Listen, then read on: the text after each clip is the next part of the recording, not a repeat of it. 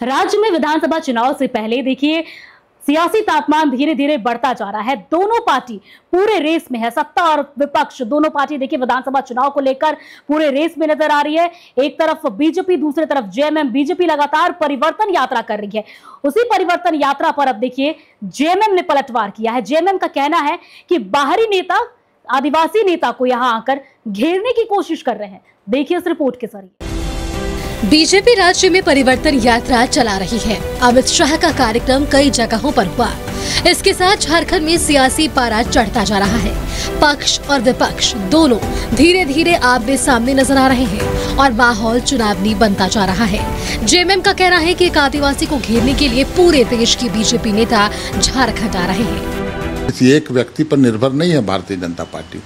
तमाम लोग गुजरात से, अहमदाबाद, दिल्ली, कहाँ, मध्य प्रदेश कहाँ, हिमाचल प्रदेश, तमाम जगह के नेता घूम रहे हैं और सभी क्षेत्र हैं। उनको पता है हेमंत सोरेन की ताकत। आप अंदाज़ा लगाइए किसी एक व्यक्ति एक व्यक्ति को घेरने के लिए इतने सारे लोग, एक आदिवासी को मुख्यमंत्री न बन पाए, वो दोबारा इसकी जद्दोजहद में है।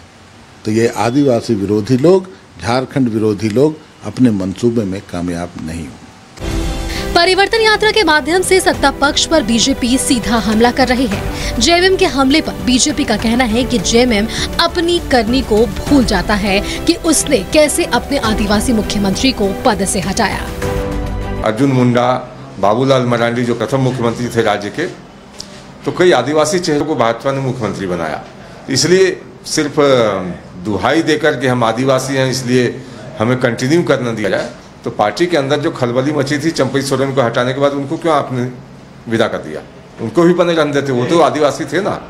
पक्ष और विपक्ष दोनों आमने सामने हैं। हालाँकि इन सबके बीच राज्य में चुनाव से पहले ही चुनावी माहौल तैयार हो रहा है।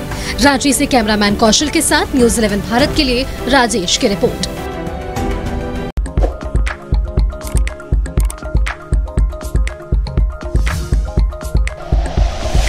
Like and share videos, subscribe करें हमारा चैनल और प्रेस करें बेल आइकॉन। न्यूज़ 11 भारत, सच है तो दिखेगा।